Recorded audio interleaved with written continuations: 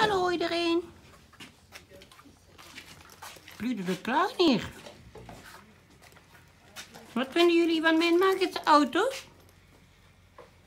Hij is zo magisch dat hij onder doeken zit, omdat hij zo speciaal is. Wacht even, ik zal hem even tonen.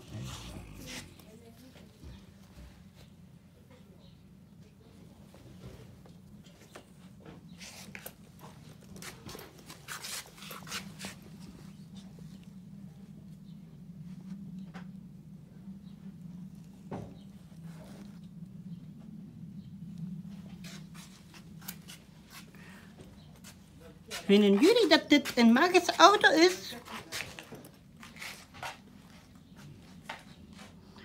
Toveren jullie met mij mee?